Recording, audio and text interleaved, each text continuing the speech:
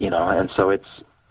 I think it's you know, there's a lot of good coming out of this too. And it was a horrible, tragic day, but I think in the long, you know, when we look back in history, it's, we're going to see 9/11 as actually being a catalyst for for positive transformation. Well, it'd be great to know that the 343, you know, firefighters that died in New York City weren't completely in vain. You know, possibly there could be some, you know, uh, good that comes of it. We could see world peace even, you know, which would be an amazing thing. Um, you know, because a firefighter's life is dedicated to, um, you know, to saving the innocent. And, um, you know, and, and, in a way you might be right that that could actually, you know, their deaths could in, in the end be actually, um, you know, worth something, which would be a great thing. Now, I, I saw a quote on the website that I think is uh, very powerful and it's something that I saw a 9/11 blogger just um, the other day where We Are Change is pursuing Amy Goodman, who's meant to be um, an you know investigative journalist um, on behalf of the uh, the people without a voice, and um, they did quite quite a good montage of her and in their pursuit of her, trying to get her to look into some of the questions like nanothermite, and um, you know, and some of the questions like what Gage is asking and you're asking, and, and they refuse to interview people like yourself and Gage and and Jones and others. Uh, but you know, this we've got to keep this anger under control. And I see this quote in your site that says, "Anger is a very appropriate and necessary response to an injustice." But stand back now. The truth, clearly spoken, is always your best weapon. Calmly spoken, it can burn a hole through the hardest heart. Uh, that's from Bill Chickering. And um, that's true. And somehow we've got to keep this anger under control, Eric. Um, what would you say to that? Oh, I agree, definitely. And that's, you know, it, that was my first response was anger when I first realized, you know, that I had been lied to, really, uh, on the investigation. But the anger, you know, it's just it's not going to get us where we want to go. And you know, I think I know I've opened more people's eyes, and my eyes were opened by someone who talked to me about it without any anger. And as soon as I think if we come from a place of anger, it shuts down communication. It it brings out anger in the other person. So that's really, I mean, it's like Gandhi, you know, said we, you know, be the change you want to see in the world, and that's, you know, we don't want the anger, we don't want the violence, we don't want, you know, a lot of these things that we all preach but we have to live it even when we're you know spreading the basically spreading the truth about 9/11 we have to we have to live with you know coming from compassion and love and not not coming from an angry place and and that's exactly where Luke Rudkowski um, was coming from. And I know he has a lot of firefighter friends, etc. In New York City, done a lot of good work there by calmly, you know, um, talking to people. Sure, he gets on the bullhorn and um, you know causes some uh, some excitement here and there because we need to get attention. But you know, when you see Luke, um, is, is, is the, the beginning of We Are Change, you see Luke out there asking the questions when he's asked them uh, of, of people in the military and the government. You know, he always asks them very carefully and he, they're well backed questions, um, thoughtful, intelligent.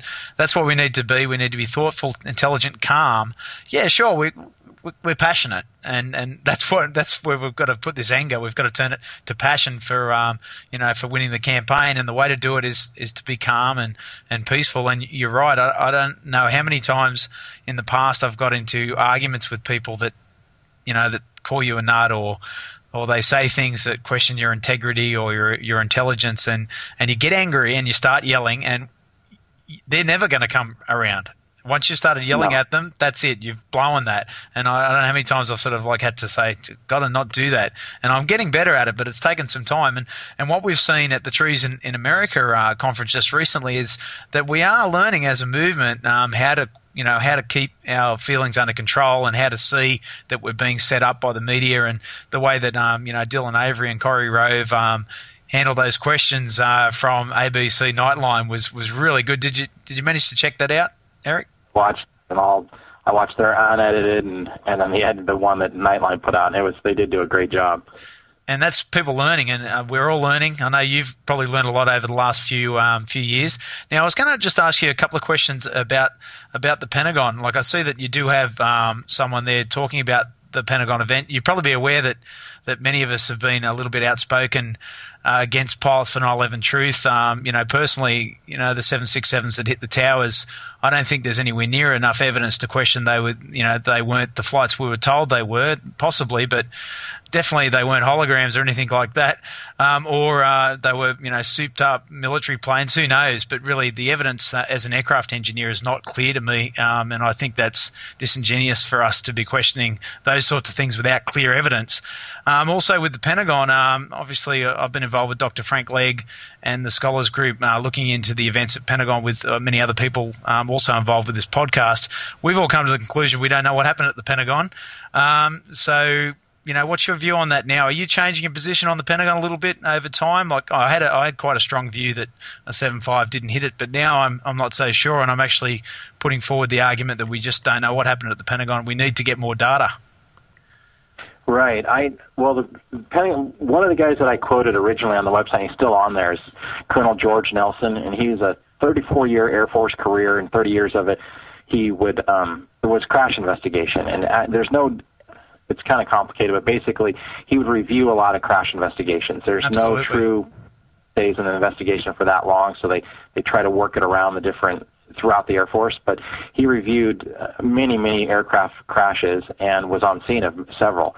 And so I asked him, you know, I said, when did you first suspect something was wrong? And he said, well, I knew on day one. He said, I was suspicious on day one. And he said, by day three, I knew for sure. And I said, well, how did you, why were you suspicious on day one? And he said, it was because of the Pentagon. And he said, you know, I've been on a lot of military plane crashes, and he said, to be honest, the military investigates plane crashes more thoroughly than any other agency in the world, even the NTSB. He, you know, he said they think they think they're thorough, but no one's more thorough than the military because he's been on commercial ones and he's been on air and military ones. And he said one of the first things we do is take control of the scene, so we shut everything down so the rescue operation can continue. But he said this the scene is protected, protected and preserved like nobody's business. He said they flag it, they tag it, they take pictures of it, they have Absolutely, MP, yeah, that's right. They don't let anybody touch anything. No. And he said what we saw there that first day was they came in and there was guys in white shirts that were walking along on the the grass basically picking up debris. He said it was like it was more important for them to clean up the yard than it was to preserve the scene. And then they came in with dump trucks and started, you know, dumping dirt over the crash site. And he's like, I've never seen anything like that. I've never even heard of anything like that. So he said that was very suspicious. Like, and he said, but you know, there are things that can maybe explain it. So I didn't want to jump to conclusions. He said, but by day three, I knew for sure, and it was because of the World Trade Center one and two, and all the different crash sites where they came up with the the IDs and the passports and the uh, the bandana that they found, all the different things that identified these terrorists and what airplanes they were on. He said that's he said even on a single airplane crash to find that kind of information is very difficult to find, and he said it takes. He said on a normal crash, it's easily accessible. It's going to take weeks to months. He said we have to sift through with a fine tooth comb through massive amounts of debris to find that kind of stuff. Yep. And he said they found all of it in the first three days, and these sites were buried by two massive buildings. He's oh like, yeah, that's, yeah. That's impossible. You know, he said I knew right then that's absolutely impossible. They could not have found it that quickly on all four crash sites. They they found debris like that. So he said I knew it was prepackaged.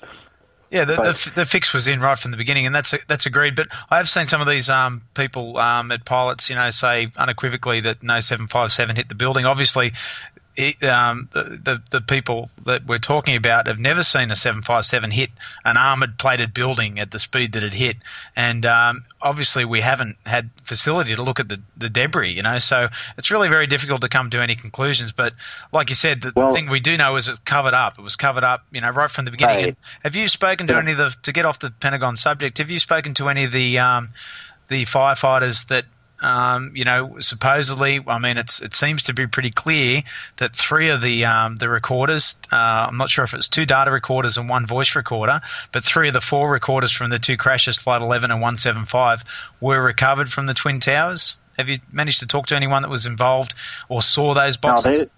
I haven't talked to them. I've read what they've written, and it's uh, uh, Mike Bellone and and Nick DeMasi are the and Nick was the one with the FDNY that found it, and they spoke out. Actually, they wrote about it in their their book that they had, um, the memorial book they had done about 9/11, and then never again have spoken about it. But I guess Mike Bellone recently did on the Jesse Ventura show. Yeah. But um, so no, I haven't spoken to them directly, and the, I have tried contacting. Actually, I've been in contact with several of the ones of the firefighters that reported explosions and that type of stuff, and none of them are willing to come out publicly. And you know, when they know what we're doing, they just say no chance. I'm not. I'm not. You know, going to talk about it again. They just they won't tell me why. They just say nope. I'm not talking about it. So whatever you know, I don't know what's going on there, but it's you know obviously they're, they're well isn't it isn't it true like from my understanding with um with the fire brigades here if you're involved in an incident you're on the job during an incident and there's an investigation you're not allowed to offer an, an opinion um if you're still serving uh, with the fire brigade wouldn't that be true that they're not really allowed to offer an opinion about an event that was was investigated Right. Yeah. They. Yeah. You'd have to go through your chain of command and or the PIO. It's called the Public Information Officer. Yeah. But you know, at some point, one of the things you know I've been talking to the firefighters, you know, in my own department about is at some point we have to stand up together and say, you know, enough's enough. You know, like the it's I think Martin Luther King quote was, you know, the, the time comes when when silence is